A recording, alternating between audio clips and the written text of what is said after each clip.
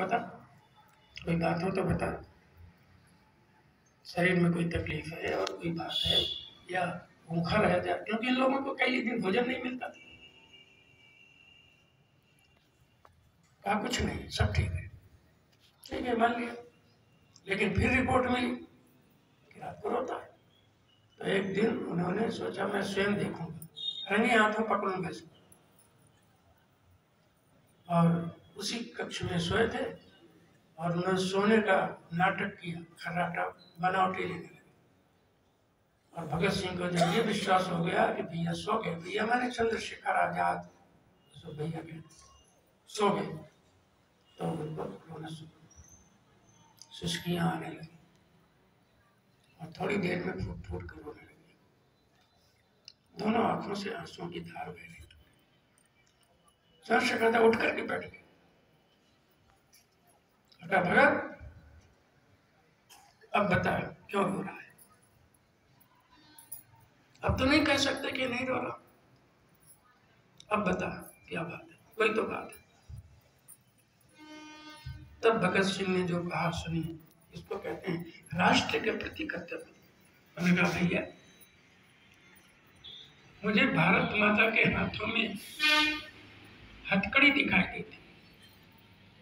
पैरों में बेड़िया दिखाई देती है। और मुझे ऐसा लगता है कि माँ रो रही है। कह रहे, भगत ये हथकड़ी कब खुलेगी? इन बेड़ियों से हमको छुटकारा कब मिलेगा? हमारी माँ रोती है। इसीलिए हम रोते ये होता है राष्ट्र के प्रति कर्तव्य। एक आग थी उनके दिलों में, क्रांतिकारियों के। एक पीड़ा थी, एक दर्द था, एक कर्तव्य बोध था। इसलिए मौत को हँसते हँसते गले लगाते थे मौत का भय नहीं था। अंग्रेज़ हैरान थे। ये किस धातु के बने हैं? राम प्रसाद बिस्मिल को फांसी होने वाली थी और वो कसरत कर रहे थे। दंड अंग्रेज़ अधिकारी ने देखा तो कहा, अरे तो तो अभी मरने वाला है। अरे कसरत कर रहा है। तो डांट कर कहा, खबरदार, मरते होंगे अंग्रेज़। हम भारतवासी मरते नहीं। हमारा शरीर बदलता कल मैंने कहा था कि हम शरीर, हम देह नहीं है। ये देह जो है, ये देह आप नहीं है। आप स्त्री नहीं है, आप पुरुष नहीं है। आप आत्मा है। देह को तो सभी ने ऐसे पहन रखा है जैसे वस्त्र पहने हुए यही ज्ञान नहीं है। देह का परिचय देते अब साड़ी पहने आप पहने, आपसे कोई पूछे कि बहन जी, आप कौन? तो आप बोलना, हम साड़ी हैं। बोलेंगे? क्यों? इसलिए नहीं बोलेंगी कि आपको ये पता है कि हम साड़ी नहीं हैं, हम अलग हैं, साड़ी अलग है, साड़ी को हमने पहन रखा है। भाइयों से कोई पूछे, चाहे वो पैंट शर्ट पहने हो, चाहे पैजामा कुर्ता पहने हो, या धोती कुर्ता पहने हो, या कुछ और पहने हो। तो किसी से पूछे, आप कौन? तो कोई ये नहीं कहेगा कि हम पैंट शर्ट है, या पैजामा कुर्ता, या धोती इसलिए नहीं कहेगा, इसको पता है कि कपड़े अलग हैं, हम अलग हैं, हमने कपड़ा पहन रखा कपड़ा नहीं है। तो आप एक क्षण के लिए सोचिए कि आप देह नहीं है, देह को आपने पहन रखा है। और गीता में तो इस चीज़ को बहुत सुंदर समझा दिया। वासांस यथा विहाय नवानि गृह्णाति नरोपराणि तथा शरीराणि विहाय जीर्णानि अन्यानि संयाति नवानि देहि। कितना सुंदर उदाहरण लिखा है। महर्षि वेद व्यास ने कितनी सुंदर बात भगवान ने अर्जुन को समझाई। कि जैसे कपड़ा हम नया पहनते हैं धीरे धीरे कपड़ा पुराना हो जाता है। तो जब पुराना हो गया, फटने लगा तो उसको नहीं पहनते, फेंक देते। और नया पहन लेते हैं। ऐसे बिना कपड़े के तो नहीं रहते। नया पहन लेते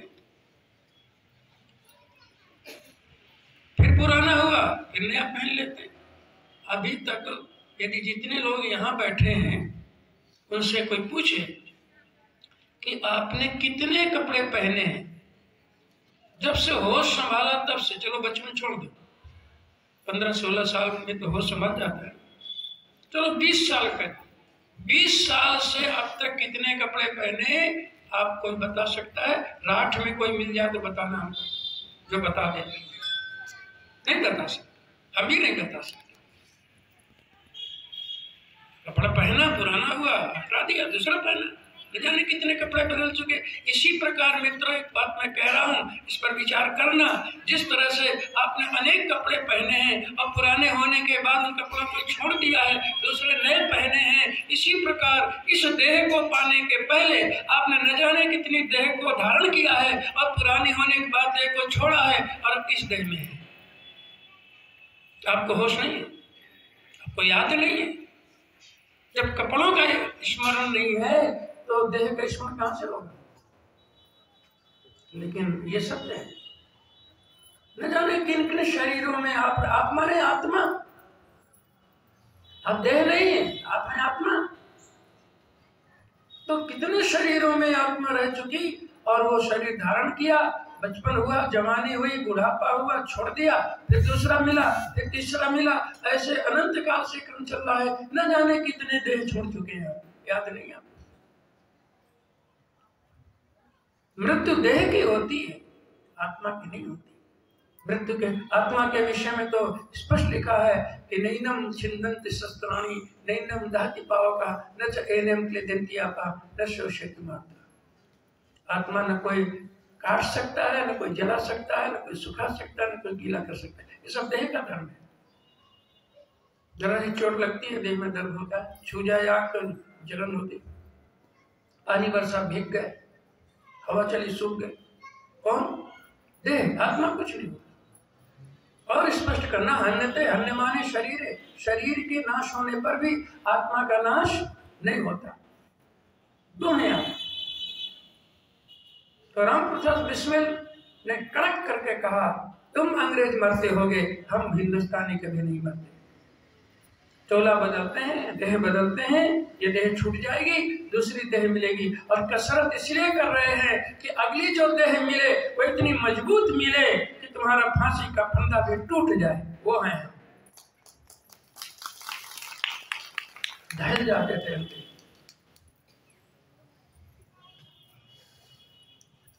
भगत सिंह, सुखदेव राजगुरु को फांसी हुई है, इनको कोई फांसी तक ले नहीं गया।